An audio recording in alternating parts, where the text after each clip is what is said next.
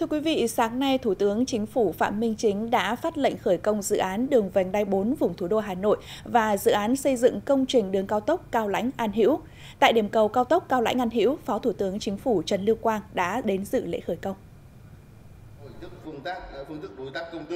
Dự án đường vành đai 4 vùng thủ đô Hà Nội và dự án xây dựng công trình đường bộ cao tốc Cao Lãnh An Hữu có tổng chiều dài khoảng 140 km.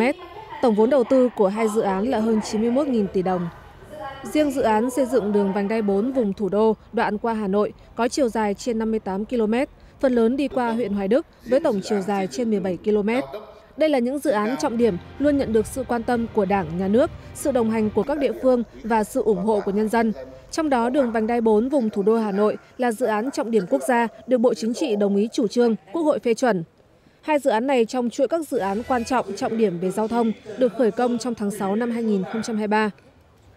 Thủ tướng Chính phủ Phạm Minh Chính nhấn mạnh, đầu tư hạ tầng giao thông không chỉ là nhiệm vụ của một bộ ngành, một địa phương nào, mà là nhiệm vụ chính trị hàng đầu của các địa phương, bộ ngành, vì chính lợi ích thiết thực của các địa phương và đất nước để thực hiện chủ trương lớn của Đảng.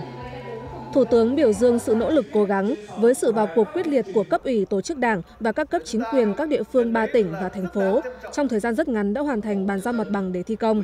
Trong đó đường vành đai 4, ba tỉnh thành phố đã thực hiện giải phóng mặt bằng đạt trên 80%. Vinaconex là đơn vị được lựa chọn thực hiện gói thầu với chiều dài khoảng 23 km.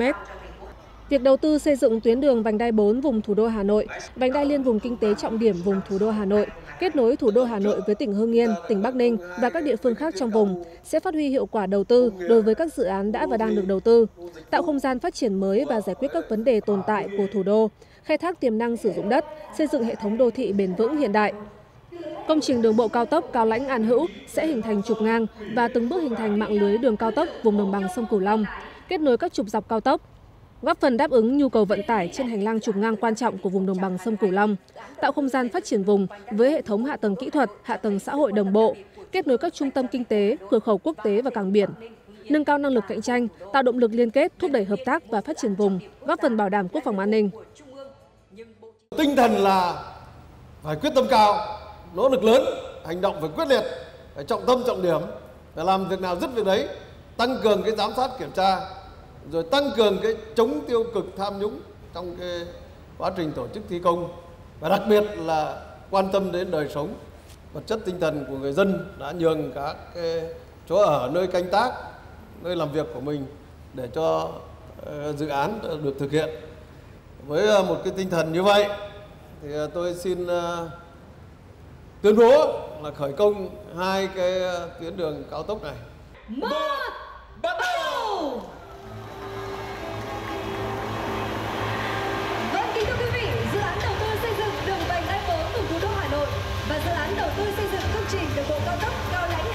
Xin được chúc hai dự án sẽ được triển khai nhanh chóng, thuận lợi, an toàn và hoàn thành đúng tiến độ. Thưa quý vị, trưa nay Thủ tướng Chính phủ Phạm Minh Chính sẽ lên đường thăm chính thức Trung Quốc và dự hội nghị thường niên các nhà tiên phong lần thứ 14 của Diễn đàn Kinh tế Thế giới từ ngày 25 đến 28 tháng 6 theo lời mời của Thủ tướng Quốc vụ viện nước Cộng hòa Nhân dân Trung Hoa Lý Cường và nhà sáng lập kiêm Chủ tịch điều hành Diễn đàn Kinh tế Thế giới Klaus Schwab.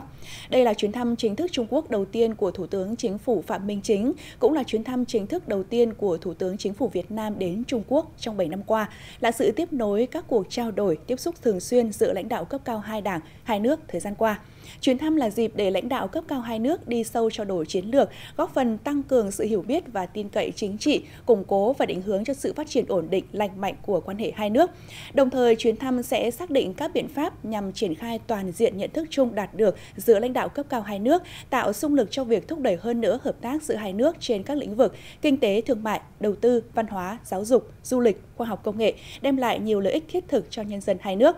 Nhân chuyến thăm lần này, Thủ tướng Chính phủ Phạm Minh Chính sẽ dự hội nghị thường niên các nhà tiên phong lần thứ 14 do Diễn đàn Kinh tế Thế giới phối hợp với Chính phủ Trung Quốc tổ chức tại thành phố Thiên Tân. Với vai trò là đối tác tin cậy, thành viên trách nhiệm của cộng đồng quốc tế, Việt Nam sẽ tích cực đóng góp phối hợp với các đối tác quốc tế giải quyết các vấn đề toàn cầu nhằm duy trì và thúc đẩy tăng trưởng kinh tế khu vực và thế giới.